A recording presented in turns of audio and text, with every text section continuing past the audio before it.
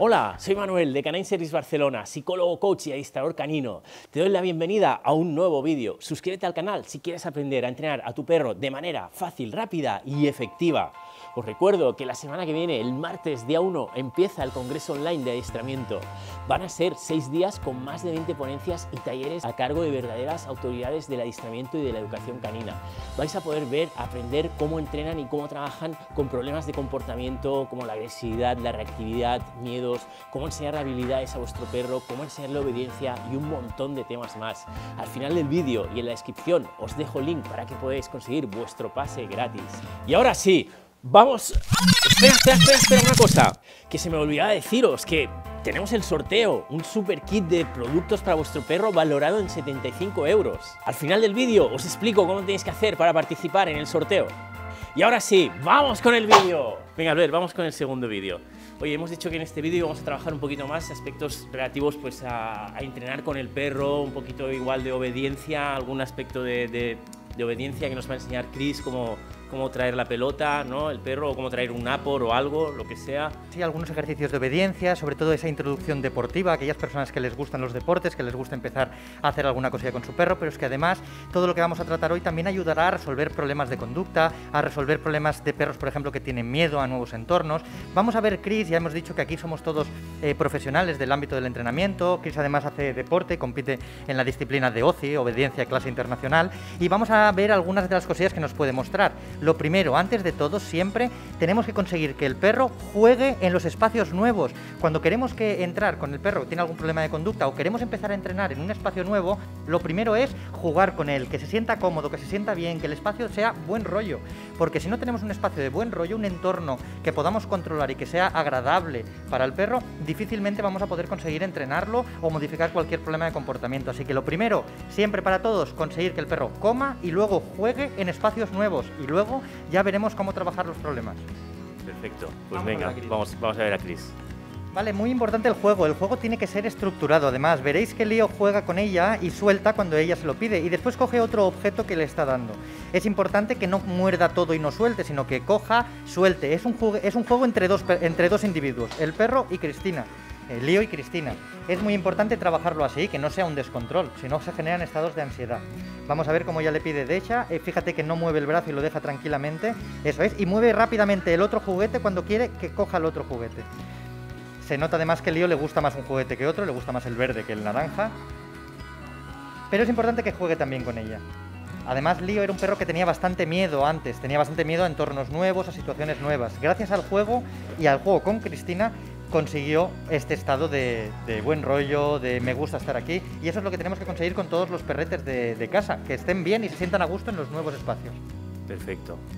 Escucha, eh, explícanos un poquito, si, si, no suelta al perro, cómo mm, motivar, cómo hacer que suelte, cómo llamarle la atención. Claro, ¿Lo, sí. ¿Lo puede hacer un poquito, Cristina, para que se vea? Porque habrá gente que igual, igual encuentra que el, que el, perro, hoy no me suelta el juguete, no me suelta el juguete. Claro, a ver, Cristina, si ella puede con lío hacer que el perro suelte. Una de las, cuando hay perros y personas que ya tienen este trabajo más hecho, como veis, ella le dice tac para coger el juguete y cuando no quiere que lo coja, le dice dash y además le deja el juguete, deja la mano sin presionar, sin tensar. Y mientras el otro juguete lo mueve rápidamente para generarle ese, esa tensión hacia el, otro, hacia el otro juguete. Si nuestro perro no suelta, ¿qué tenemos que probar? Podemos probar con premios de mucho valor.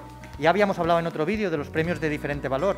Si seguramente si utilizáramos un premio de mucho valor, el perro soltaría por el otro premio si pongamos que al perro le gusta mucho, mucho este juguete, ¿qué tenemos que hacer? Comprar dos juguetes iguales, tener dos juguetes que sean exactamente iguales para poder intercambiar juguetes iguales y que el perro vea que cada vez que le quitas uno, recibe otro. Un perro no suelta los objetos, ¿por qué? porque se piensa que cuando le quitas algo no se lo vas a dar, se lo vas a quitar, por eso no te lo quiere dar. Cuando tú, cuando él ve que tú le quitas algo, pero a cambio le das otra cosa, fácilmente va a soltarte en las siguientes veces. Entra en intercambio, claro. Intercambio. Albert, ¿qué va a hacer Chris ahora? Bueno, vamos a probar de traer un objeto. Vamos a ver cómo le ha enseñado a Lío a traer un objeto y eh, a coger un objeto y traerlo. En este caso va a utilizar un apport. Un apport es un elemento que se utiliza en obediencia clase internacional, en este deporte del que hemos hablado antes, y es uno de los ejercicios. El perro tiene que ir a buscar el apport y, y devolverlo a la misma velocidad y sin mordisquearlo. Cosa importante ya que el apport es de madera. Como veis, ella lo que le intenta es eh, darle el estímulo de coger, incluso en un momento dado se lo intenta quitar sin darle la orden de soltar. Y como veis, Lío lo sigue cogiendo fuerte, hasta que ella hace un clic Cuando hace eso, el perro suelta, como veremos ahora. Muy bien. Muy, muy importante cuando empezamos este tipo de ejercicios, también otros, el autocontrol.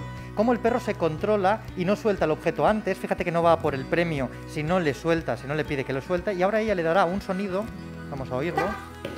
Normalmente este ejercicio se empieza eh, trabajando con una pelota, con un palito, un mordedor, para que el perro vaya y lo traiga. Podemos utilizar una cuerda larga para atarla al mordedor, para tirárselo y cuando el perro vaya y lo coja, traer para eh, empujar un poquito con la cuerda hacia nosotros para que nos lo traiga, porque normalmente un perro cogerá el juguete y se irá a disfrutarlo por ahí. Entonces, ¿qué hacemos? Con una correa podemos derivar para que venga hacia nosotros, de esta manera que aprenda a jugar con nosotros y a traernos objetos. Poco a poco hará, podrás hacer como hace Chris, enseñarle a coger un objeto y además situarse a nuestro lado. Claramente se está viendo cómo trabaja el ejercicio junto, con un objeto en la boca, o sea que es algo un poco más complejo. El ejercicio junto es un ejercicio muy fácil para hacer para cualquier persona con un perro, es simplemente tenemos que conseguir la atención con un premio que le guste mucho y poco a poco irlo dirigiendo hacia nuestro lado para que él fije esa posición. Y luego último será tirar el objeto, que el perro lo recoja y que lo traiga a nuestro lado.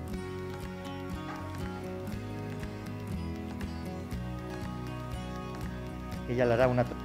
Ah, ahora le ha hecho una trampa y él ha soltado, ha fallado. Ahora vuelve a hacerle la trampa, fijaos. Muy bien, ha fallado. ¿Qué pasa si falla el perro? Volvemos a repetir, no nos enfadamos, no le castigamos, ni nada de eso. Volvemos a intentarlo. Si no lo ha hecho bien al principio es que no hemos tomado medidas adecuadas y tenemos que corregir eso. Un perro nunca hace las cosas mal, en todo caso las hace el guía. Y finalizamos con juego. Siempre los ejercicios los finalizamos con el buen rollo, con juego. Muy importante en el juego además que el perro vaya al guía a jugar con él, no que se coja el juguete y se vaya por ahí, sino que coja el juguete y sepa que el juego es de dos, es del guía y de él, no simplemente de él.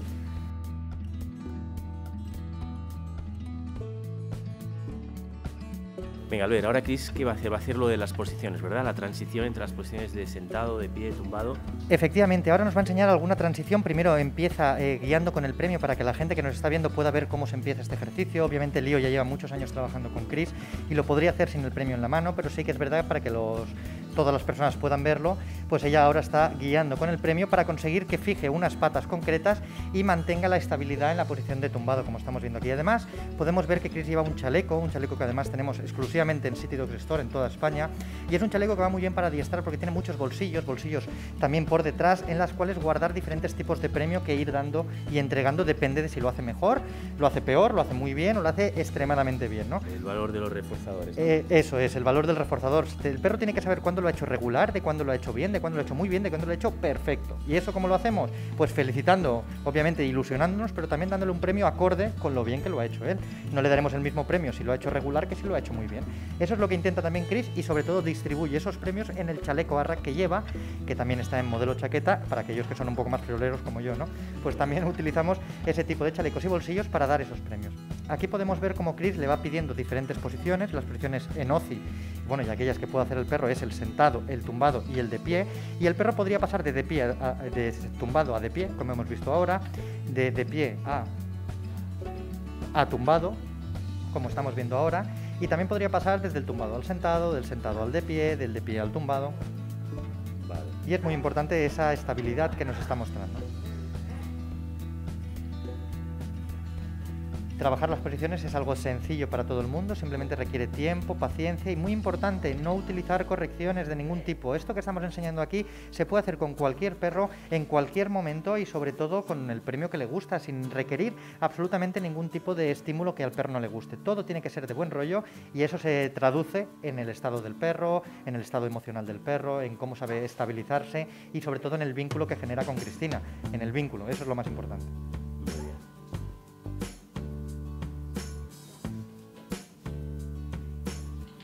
De hecho, ahora fijaos que ha tirado el premio fuera para indicarle que ha finalizado la sesión. Ella le indica cuándo empieza y cuándo acaba la sesión, justo después de jugar, lo que hemos hecho al principio.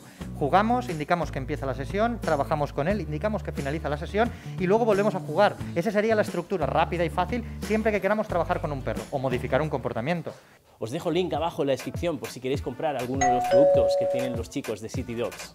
Y ahora, antes de despedirnos, te explico cómo participar en el sorteo internacional del kit de productos para tu perro.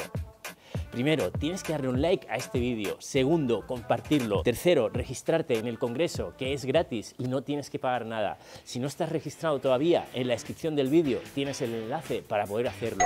Y por favor, seguid los tres pasos porque si no, el programa os excluirá y no entraréis en el sorteo internacional. Anunciaré el ganador en Facebook, en YouTube y en Instagram el domingo 13 de diciembre. Nos vemos la semana que viene. Hasta pronto.